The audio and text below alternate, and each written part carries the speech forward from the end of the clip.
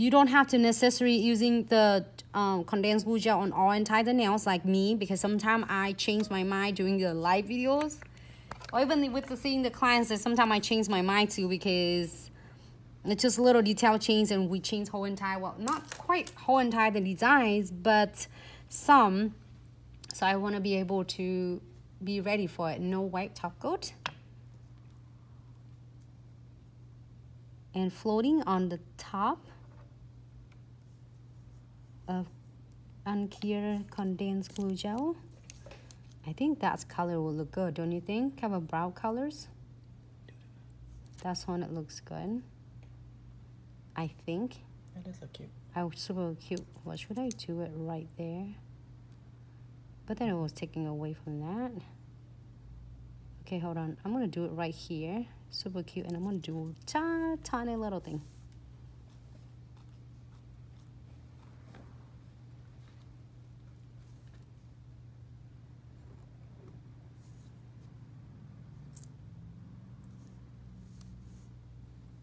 I love this cute little like um, flower mix jars and um, baby crystals mix jars. This is so much fun to do with and you have so many in here.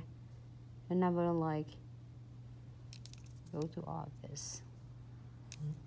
So crucial, what you can do is just get some clear packing tape and tape two stroke over it. That prevent you from cutting yourself and it's workable for a little while. Look like as um, Instagram. Okay.